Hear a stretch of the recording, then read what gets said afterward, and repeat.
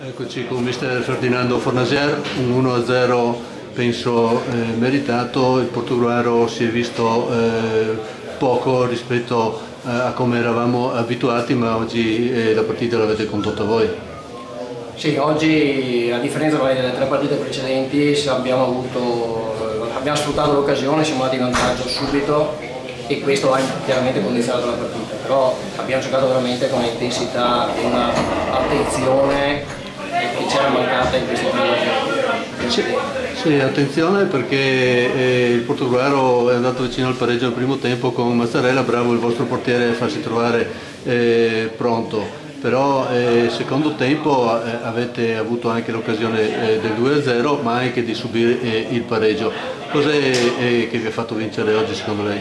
Ah, oggi siamo stati secondo me soprattutto squadra perché abbiamo giocato più attenti, più corti, eh, ci ha dato una mano sicuramente nei due episodi, l'occasione che ha portato Maro ci ha dato una mano al portiere, ma siamo stati bravi con tutta la difesa a tenerli corti, a, tenerli, a costringerli a giocare sempre una palla difficile, mai una palla pulita. E questi sono tre punti importanti per voi, fan classifica, e questo come proiezione per il campionato cambia qualcosa? No, non cambia niente.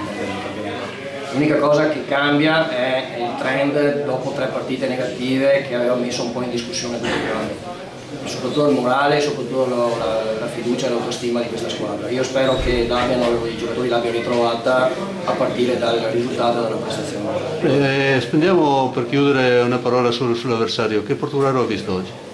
Io eh, ho detto al suo collega Gazzettino, mm, io ho affrontato le squadre più forti del campionato in queste quattro partite, quindi penso che appena dietro a Treviso e Porto Massuè ci siano Portogallo e Pitatina per struttura, per qualità di giocatori.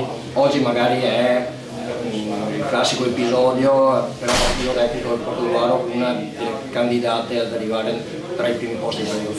Bene, grazie mister.